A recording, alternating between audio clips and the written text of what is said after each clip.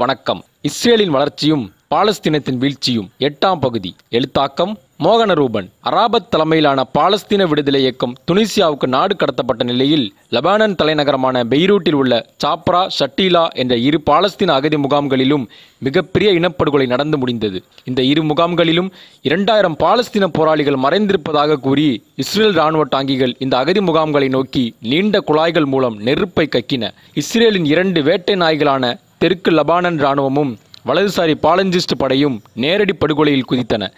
பாலஸ்தீன அகதிகளின் மொத்த பலி எண்ணிக்கை மூவாயிரத்தி ஐநூறு கூட என்று சொல்லுவார்கள். இவை அனைத்தையும் அமெரிக்காவின் ஆறாவது கடற்படை லெபானன் அருகே மத்திய தரைக்கடலில் மிதந்தபடி புன்சிரிப்புடன் வேடிக்கை பார்த்து கொண்டிருந்தது. இஸ்ரேல் நடத்திய கலிலுக்கு அமைதி போரில் மொத்தமாக பதினெட்டாயிரம் பேர் பலியானார்கள். அவர்களில் ஆறாயிரம் பேர் அப்பாவி பொதுமக்கள். லெபானனை இஸ்ரேல் படை சூறையாடி விட்டு வெளியேறியது. பிற்காலத்தில் இதை பற்றி யாசர் அராபத் அடித்த கமெண்ட் இது. நாங்கள் லெபானனை விட்டு கௌரவமாக வெளியேறினோம். ஆனால் இஸ்ரேல் குடிநீர் குழாய்களை கூட திருடி கொண்டு வெளியேறியது என அவர் குறிப்பிட்டார். கடல் கடந்து சென்ற பாலஸ்தீன விடுதலை இயக்கம் பின்னர் துனிசியா நாட்டின் தலைநகரமான துனிசுக்கு அருகே தனது தலைமையகத்தை அமைத்து கொண்டது. அராபத்தின் பாலஸ்தீன விடுதலை இயக்கம் லெபானனை விட்டு வெளியேறினாலும் கூட இதர பாலஸ்தீன போராளி அமைப்புகள் லெபானனில் தொடர்ந்து தங்கியிருந்து இஸ்ரேலுக்கு எதிரான தாக்குதலை முன்னெடுத்தன. பாலஸ்தீன விடுதலைக்காக பல போராளி குழுக்கள் பரபரப்பான இயங்கி வந்தது நமக்கு தெரியும். அதில் ஒன்று ஜார்ஜ் அப்பாஸ் தலைமையிலான popular front of for the liberation of பாலஸ்தீனம். இது பற்றி ஏற்கனவே பேசியிருக்கிறோம். ஜார்ஜ் அப்பாஸ் பாலஸ்தீனத்தைச் சேர்ந்த கிறித்தவர். நிலைமை இப்படி இருக்க அராபத்துக்கு எதிராக பாலஸ்தீன விடுதலை இயக்கத்தில் முரண்பாடுகள் மெல்ல முளைவிடத் தொடங்கின. அமெரிக்கா என்ன சொன்னாலும் அராபத் கேட்பார் போலிருக்கே இது ஆகாதே என்ற முணுமுணுக்கள் கேட்கத் தொடங்கின. ஆயிரத்தி தொள்ளாயிரத்தி எண்பத்தி மூணில் சிரிய அதிபர் அபிஸ் அல் அசாத் அவர் பங்குக்கு பாலஸ்தீன விடுதலை இயக்கத்தை இரண்டாக உடைக்கும் முயற்சியில் ஈடுபட்டார். இதற்கிடையே அராபத் இனி வேலைக்காக மாட்டார் என்ற எண்ணத்தில் லெபானனில் ஈரான் சிரியா நாடுகளின் ஆதரவுடன் ஒரு புதிய போராளி இயக்கம் பூத்தது. அதன் பெயர் ஹிஸ்புல்லா. தமிழில் அதை அப்படியே மொழிபெயர்த்தால் கடவுளின் கட்சி என்று அர்த்தம். ஷியா அமைப்பான ஹிஸ்புல்லாவின் காட்ஃபாதர் ஈரான். ஆயுதங்கள் வழங்க ஈரான் அரசியல் ஆதரவு சிரியா என ஹிஸ்புல்லா வளரத் தொடங்கியது. ஒரு கட்டத்தில் லெபனான் நாட்டு இராணுவத்தை விட பலமுள்ள அமைப்பாக ஹிஸ்புல்லா உருவெடுத்தது. ஆயிரத்தி தொள்ளாயிரத்தி எண்பத்தி மூணாம் ஆண்டில் லெபானனில் மீண்டும் ஒரு உள்நாட்டு போர் வெடித்தது. இஸ்ரேல் ஆதரவு தெற்கு லெபானன் இராணுவம் பாலஞ்சிஸ்ட் படைகள் ஒருபுறம் அதற்கு எதிராக அனைத்து வித இஸ்லாமிய போராளி இயக்கங்கள் கம்யூனிஸ்டுகள் மதசார்பற்ற போராளி குழுக்கள் இணைந்து களம் கண்ட போர் அது. அந்த போரில் இஸ்ரேல் ஆதரவு படைகள் மண்ணை கவ்வின. அமெரிக்காவுக்கு சம ஆத்திரம். அந்த ஆத்திரத்தில் அமெரிக்காவின் ஆறாவது கடற்படையைச் சேர்ந்த பனிரெண்டு போர்க்கப்பல்கள் நியூஜெர்சி உட்பட இரண்டு விமானந்தாங்கி கப்பல்கள் லெபானன் மீது குண்டுமலை பொழிந்தன. முன்னூறு போர் விமானங்களும் இதில் பங்கேற்றன. சிரியா நாட்டு ராணுவம் தங்கியிருந்த பெக்கா பள்ளத்தாக்கு இந்த தாக்குதலின் முக்கிய இலக்கானது.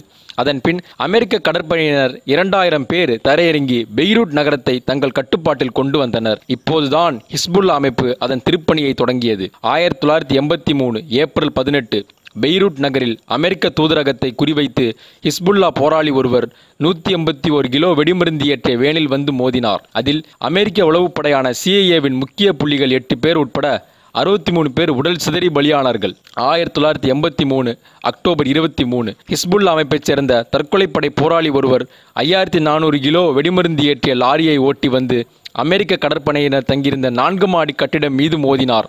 அதில் அமெரிக்க கடற்படையினர் இருநூத்தி நாற்பத்தி ஒரு பேர் காலி. இதே மாதிரி இன்னொரு குண்டு தாக்குதல் ஐம்பத்தெட்டு பிரெஞ்சு வீரர்களை காவு வாங்கியது. சில நாட்கள் கழித்து டயர் நகரில் இஸ்ரேல் ராணுவம் மீது இதே ஸ்டைலில் ஹிஸ்புல் அமைப்பு நடத்திய தாக்குதல் அறுபது பேரை பலி கொண்டது. அடங்கப்பா சாமி இது ஆகாதுடா. என்று லெபனனில் இருந்த அமெரிக்க படைகளை அதிபர் ரொனால்ட் ரீகன் வாபஸ் பெற்றுக் கொண்டார். ஆயிரத்தி தொள்ளாயிரத்தி எண்பத்தி நான்கு பிப்ரவரி மாதம் கடைசி அமெரிக்க ராணுவ வீரரும் லெபானனை விட்டு வெளியேறினார். ஹிஸ்புல்லா அமைப்பு இந்த போடு போடுவதை பார்த்து அராபத்தின் பாலஸ்தீன விடுதலை இயக்கம் திகைக்க ஆரம்பித்தது. இப்போது எதையாவது செய்ய வேண்டிய நெருக்கடி அதற்கு. அதனால் வழக்கம் போல ஒரு சாஃப்டான இலக்கை பாலஸ்தீன விடுதலை இயக்கம் தேர்வு செய்தது. சைப்ரஸ் நாட்டின் லார்கனா துறைமுகத்தில் ஒரு இஸ்ரேலிய படை தாக்கி மூன்று பேரை கொன்றது.